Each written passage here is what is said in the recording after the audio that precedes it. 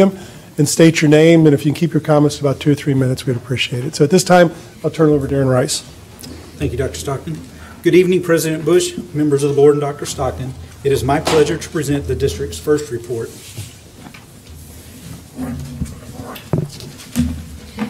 The School Financial Integrity Rating System of Texas, or FIRST report, ensures that Texas public schools are held accountable for the quality of their financial management practices and that they improve on those practices. The system is designed to encourage Texas public schools to better manage their financial resources, to provide the maximum allocation possible for direct instructional purposes. The School First Rating is based upon an analysis of staff and student data reported for the 2015-2016 school year and budgetary and actual financial data for the fiscal year ended August 31st, 2016. The School First Rating System rated the district based on scores received from 15 separate performance indicators. Each performance indicator was designed to assess the quality of the financial management of the, district, of the district's resources. Indicators 1 through 5 are pass fail, and indicators 6 through 15 are worth up to 10 points each, each for a maximum of 100 points. and these are the uh, scores that a district can achieve. Uh, Conroe Independent School District received a rating of A, superior, uh, scoring 100 out of 100 possible points. Uh, the superior rating is the state's highest, demonstrating the quality of Conroe ISD's financial management and reporting system. Now, at this time, we'll go through each of the 15 indicators. Number one, was the complete annual financial report, or AFR, and data submitted to the TEA within 30 days of the January 28th deadline for the district's fiscal year end date, August 31st? And our answer is yes, it was submitted timely. 2A, was there an unmodified opinion in the AFR on the financial statements taken as a whole? Our answer is yes. 2B, did the external independent auditor report that the AFR was free of any instances of material weakness in internal controls over financial reporting and compliance for local, state, and federal funds? And our answer is yes. Number three, was the school district in compliance with the payment terms of all debt agreements at fiscal year end? Our answer is yes. Number four, did the school district make timely payments to the teacher's retirement system, Texas Workforce Commission, Internal Revenue Service, and other government agencies? Our answer is yes. Number five, was the total unrestricted net position balance in the governmental activities column in the statement of net assets greater than zero? Our answer is yes. Number six, was the number of days of cash on hand and current investments in the general fund for the school district sufficient to cover operating expenditures? And this is excluding facilities acquisition and construction. And our answer is yes, we had 106 days of cash on hand, and to receive 10 points, you had to have at least 90. Number seven, was the measure of current assets to current liabilities ratio for the school district sufficient to cover short-term debt? Our answer is yes. Our current ratio was 3.13, and the ratio needed to receive 10 points was 3.0. Number eight, was the ratio of long-term liabilities to total assets for the school district su sufficient to support long-term solvency? If the school district's change of students in membership over five years was 10% or more, then the school district passes this indicator. Our answer is yes, our membership increased by 10.8%. Number nine, did the school district's general fund revenues equal or exceed expenditures, once again excluding facilities acquisition and construction? Our answer is yes. Number 10, was the debt service coverage, ratio sufficient to meet the required debt service? Our answer is yes. Our ratio was 1.84 and the required ratio was 1.2. Number 11, was the school district's administrative cost ratio equal to or less than the threshold ratio? Our answer is yes. The acceptable administrative cost ratio is 0.0855. Our ratio was half that at 0.0402, so good to report that. Number 12, did the school district not have a 15% decline in the students to staff ratio over three years, total enrollment to total staff? If the student, student enrollment did not decrease, the school district will automatically pass this indicator. Our answer is yes, and enrollment increased by 3,230 students over these three years. Number 13, did the comparison of PEIMS data to like information in the AFR result in an aggregate variance of less than 3% of all expenditures by function? Our answer is yes, we had 0% variance. Number 14, did the external independent auditor indicate that the AFR was free of any instances of material noncompliance for grants, contracts, and laws related to local, state, and federal funds? And our answer is yes. And the final indicator, did the school district not receive an adjusted repayment schedule for more than one fiscal year for an overallocation of foundation school program funds as a result of a financial hardship? And that is yes. The first report, along with the additional required disclosures that include the superintendent's contract and the school's first annual financial management report, can be located on the district's transparency website at the link listed below. Okay, this time, if anyone have any comments, please come to the podium. All right, seeing no takers, that concludes, concludes our um, public hearing. All right. Call this meeting of the Conroe Independent School District Board of Trustees to order. Let the record show that a quorum of members is present, that this meeting has been duly called, and that notice of this meeting has been posted in accordance with Texas Opens Meetings Act, Texas Government Code, Chapter 551. The time is now 6:07. Please join me in rising while Mr. Moore leads us in the invocation. If you're so inclined, would you please bow with me? God of all creation, we pause this evening to stand in your presence and pray for your guidance upon those gathered here. We pray that your spirit would be amongst us to help us make decisions that are in line with your will for our students, for our staff, and for our community. Lord, as we enter this holiday season, regardless of our traditions and our, our faith that we follow, we pray that you would help us all find a meaning and a purpose deeper than ourselves. That you would help us to find a way to live in peace and harmony with our fellow humans.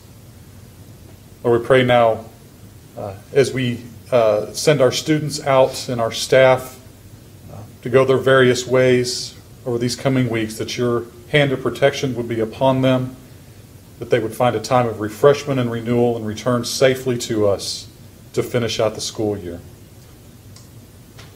It's in your holy name that we pray. Amen.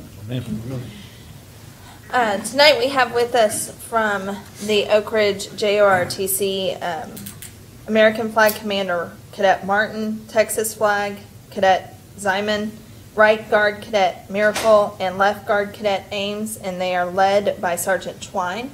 Please join us for the presentation of colors and the pledge led by Mr. Hubert. Uh, Ace. Ace, and colors. I pledge allegiance To the flag of the United States of America and to the republic for which it stands, one nation, under God, indivisible, with liberty and justice for all. now the Texas flag. Honor the Texas flag. I pledge allegiance to thee, Texas, one state, under God, one and indivisible. Ace, colors. I, Ace. Forward, arch.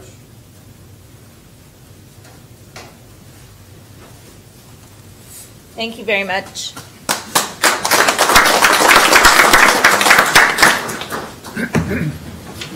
All right. Ms. Godfrey, do we have anyone signed up for citizen participation? We do not. All right. Item three, consent agenda. I have not heard any uh, requests to remove any items. All right. We approve consent agenda. Second. All those in favor? Consent agenda is approved. Item 4A, receive capital improvement update. Ms. Dr. Stockton? All right, Mr. Foster, if you'll come and present that information, please. Good evening, President Bush, members of the board, and Dr. Stockton. It's my pleasure to present for you an update on our capital improvements that we have underway throughout the district. Start you with our safety and security project. We're currently in phase two of a four-phase project. So I'm happy to report we're completing Phase Two as we speak. So over the Christmas holidays, we'll have Phase Two wrapped up, and so there won't be a report for January. Uh, You get your obligatory picture of one of our vestibules that we've done. So, but in the spring, so January, and February, we're working with our security uh, department and our design engineers to bring you phase three of this project, uh, which should be in the March timeframe. So we'll be back to ask for approval to proceed with the next phase in the very near future. At Grand Oaks High School, uh, Grand Oaks is scheduled to open in August of 2018. It is currently on schedule, as you can see from this overhead picture here. The view of the site, the practice fields, things of that nature are coming together very nicely. You can see the grass growing on the fields, the detention areas are, are being completed. The exterior uh, driveways and things of that nature are now connecting to the Grand Parkway as we get near the completion of that project. Inside, we're working the finishes from the top floor down, so what we're looking at is the uh, science labs on the third floor of the academic wing of the building. So we're working there. We worked with our maintenance department to do above ceiling cover-ups on two of those floors today. So that project is proceeding nicely on the interior as well. At Catherine Johnson Clark Intermediate, I'm happy to report that project is on schedule as well, scheduled to open in August of 2018. So it, it mirrors, it's beginning to mirror uh, Grand Oaks very much as we push towards uh, the uh, August deadline to get this ready for students. It is on schedule, as I said, as you can see from the overhead picture. Many of the driveways and all the other features of the site are coming together. The building itself on the interior is beginning to take shape, so you can see the building systems, the building interior partitions, walls, things of that nature, all coming together. On the outside of the building, you're starting to see the exterior finishes, uh, so you can get a really get a feel for what the building looks like in the neighborhood as you drive by it today. At Conroe High School, where we're in doing an addition in order to facilitate a major renovation of the main campus, uh, we're looking at the structure for the central plant, which is where the, the heartbeat of our mechanical system. It'll feed the new addition as well as the main building as we work through that renovation project. And the structure for the new addition is, is nearing complete. The large crane left us uh, the end of last week, so now they're working with a much smaller crane, crane to finish that erection of that structure. And over the Christmas holidays, we'll be working on the second floor slab, second floor concrete, working our way to the top of that building to top it out. It is also on schedule, and is scheduled, we're scheduled to be on that campus through December of 2019. And that is our update. All right. Thank you, Mr. Foster. Any comments, questions? I have a question for you. Uh, Just curious, because I've heard some some horror stories from people about Hurricane Harvey, Harvey.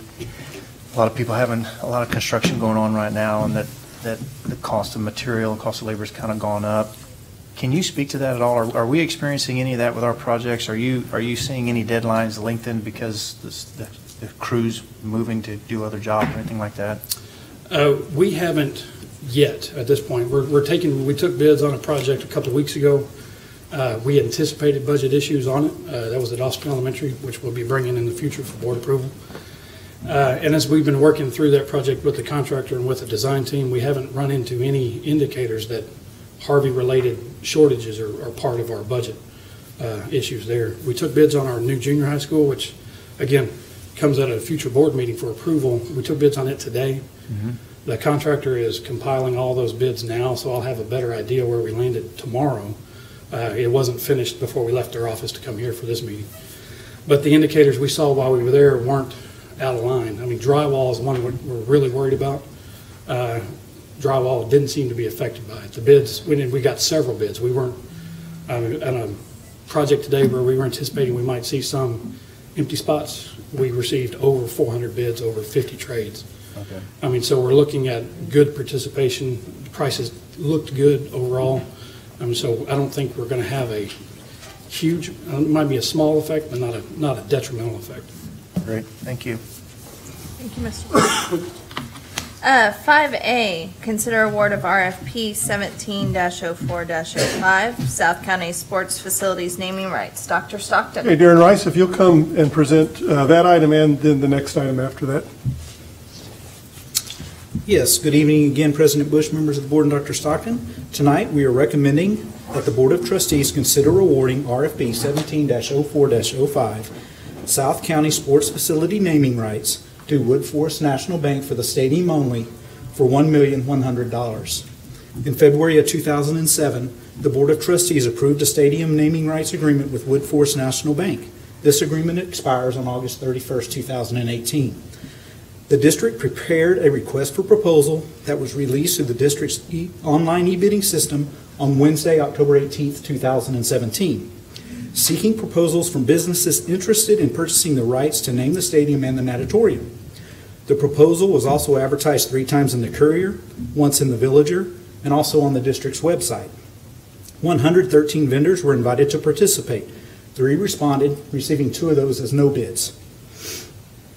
The district anticipates that any contract awarded pursuant to this RFP to be in effect for a negotiated period of up to 10 years from the date of the award with the possibility of extending the contract for additional terms.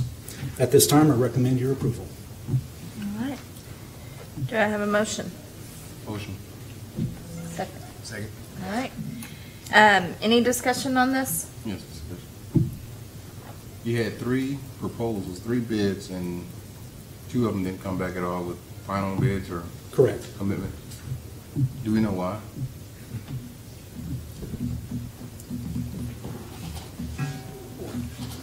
When we say no bids, we, we, we put the bids out to the, to the 113 uh, separate vendors, and then others can come to our website and, and apply. When they look at it, they look at the bid, they just go through the, and there's a button, either you're gonna bid or it's just no bid. We don't ask for really an explanation. So they can just click no bid, that they, they reviewed the, the bid, and they just decided to no bid the item. The hundred and thirteen showed interest. Well, 113 is what we sent We sent it to emails to. 113. We showed interest in And them. then, Yes, we cast a wide net out Three there. wide, And 113. Three of We them got three viewed it. That, I I recently spoke to a superintendent of a similar-sized district in the area, and they had a very similar response. Um, But I will tell you that we are thrilled to make the recommendation uh, for Woodforest Bank Stadium. that was my question. I was, I was just curious. I'm good. All right. Any other discussion? All those in favor? Opposition and abstentions? Abstain. All right. Item 5B, financial reports. Mr. Rice.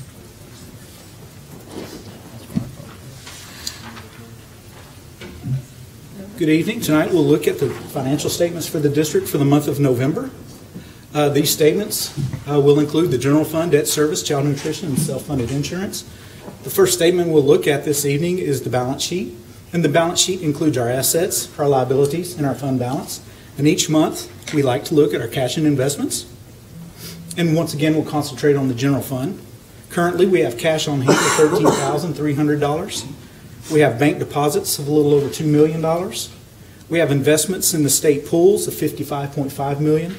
We have our short, short-term investments, less than the year, 59.4 million.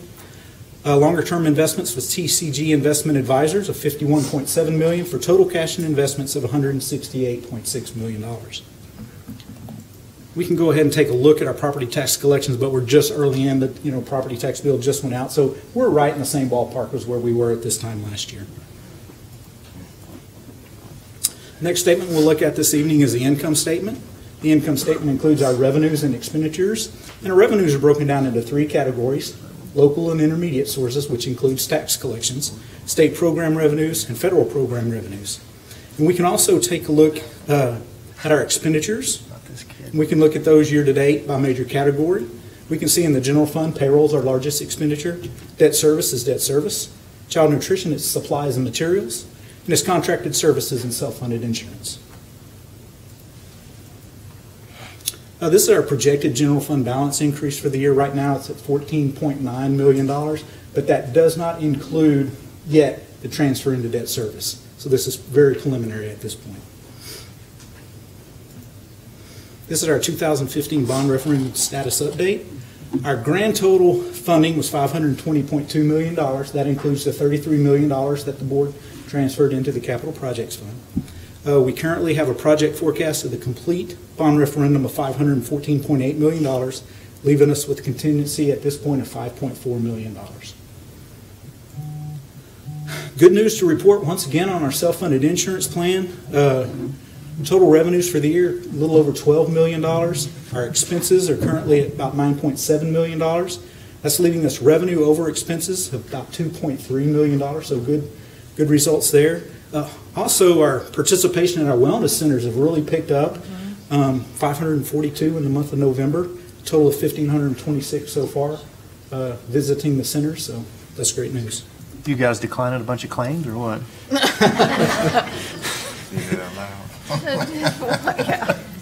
You know, I actually, just, just, just to give you a little, I'm just, I know you're not. Okay, investments for the month of November. Our par value is $294.4 million. Um, Our pools are uh, yielding about 1.27%. Our short-term investments, that's the ones less than a year, 1.45%. Our longer-term investments with TCG Investment Advisors at 1.24%, leaving our combined portfolio with a WAM of 98 days, yielding 1.33%. And our benchmark, which is the 90-day T-bill, has moved all the way up to 1.25%. And thank you. All right, thank you, Mr. Rice. Mr. Rice, Just be sure to remind them when our insurance comes due, when we renew it next year, I'll remind them of that overage, 2.2 million overage. Um, We're going to move to legal, uh, item A, so that we can finish that up before going to executive session. So uh, on item A, Board of Trustees, uh, end-of-year continuing education announcement. Um, All members of the Conroe Independent School District Board of Trustees have completed the training required by law. And then item 8B, receive information about local policy manual update 109. Nine, yes, a fascinating update that I know y'all poured over in that 900-page um, Word book that you got. Um, Just some of the highlights, you know, the Vantage Points does summarize what, the local policies in there very well. Uh, Some of the big ones were the bullying policy, obviously, you know, the state changed, um, expanded it, and then that new policy incorporates those changes in it. Um, Then Senate Bill 7 was the, the law that was very expansive, dealing with educator misconduct and reports relating to sexual misconduct between educators and students. And so you'll see that throughout all the policies, the local policies, the implementation of that particular bill. And the other one that was, um, uh, had, was tweaked, you know, from last session, they passed the special ed camera bill. They've tweaked that a little bit more. Nothing really changes a great deal. They've kind of uh, modified the definitions or who can ask for um, a camera in the classroom. We don't have to keep the videos quite as long as we did before. I think it was an expensive, difficult thing for some districts to try to maintain them for six months. Now we have um, three-month retention period for them. So none of them are huge, but they're really just implementing all the changes that came from this last legislative session. So if you have any questions about any of them in particular, I will do my very best to answer. Otherwise, we'll be asking you to adopt them in January. All right. Thank you, Ms. Gladys. We are going to adjourn to executive session, and we will reconvene after that. Just read the time. Time. It is, End of section that yeah, I'm sorry. A closed session of the board will now be held for matters, on the matters contained in the notice for this meeting as authorized by Section 551-074 of Texas Open Meetings Act. Should the board determine that any final action, final decision, or final vote be required with regard to any matter considered in closed, se- such closed or executive meeting or session, or then the such final action, final decision, or final vote shall be either this public meeting upon the reconvening or at a subsequent public meeting. Closed session of the board is now at 6:24. The board is now in open session at 6:45. The next item on the agenda was the superintendent's evaluation. That has been complete. Do I have a motion to adjourn? So moved. Second. All right, we are adjourned, 6:45.